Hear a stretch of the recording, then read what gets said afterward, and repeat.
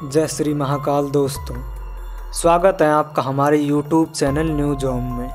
तो दोस्तों, आज हम बात करने वाले हैं कुशाग्र सोनी के बारे में, कि क्या कुशाग्र सोनी ने छोड़ दी है दुर्लभ कश्यप गैंग। इससे पहले अगर आपने चैनल को सब्सक्राइब नहीं किया है तो चैनल को सब्सक्राइब कर लीजिए और वीडियो को लाइक कर दीजिए। तो दोस्तों कुशाग्र सोनी उर्फ़ मीतू सोनी, जो दुर्लभ कश्यप के उन दोस्तों में से है जो दुर्लभ के साथ 24 घंटे रहा करते थे और दुर्लभ के एक कहने पर किसी भी वारदात को अंजाम देने का दम रखते थे।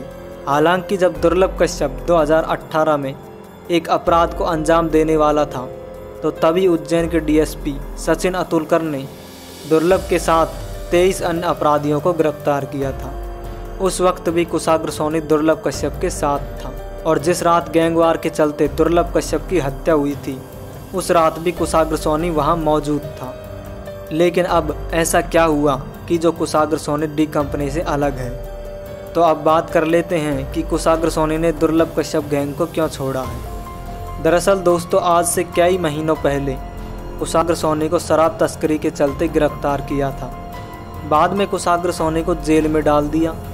लेकिन अभी लगभग एक से दो महीने पहले कुशाग्र सोनी जेल से भी आ गया है।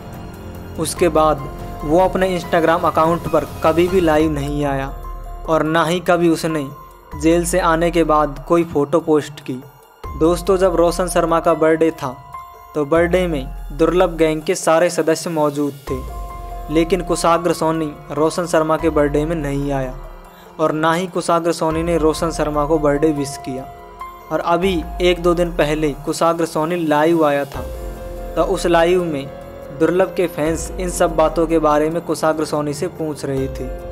लेकिन कुशाग्र सोनी ने इन सब बातों में से किसी का भी जवाब नहीं दिया और ना ही लाइव में उसने कुछ बोला। और कुशाग्र सोनी रात में लाइव आया था तो सिर्फ़ लाइव में उसकी चिलम दिख रही थी, क्योंकि वो चिलम पी रहा था और चिलम के अलावा कुछ नहीं दिख रहा था और चारों तरफ़ अंधेरा और पूरा जंगल दिख रहा था।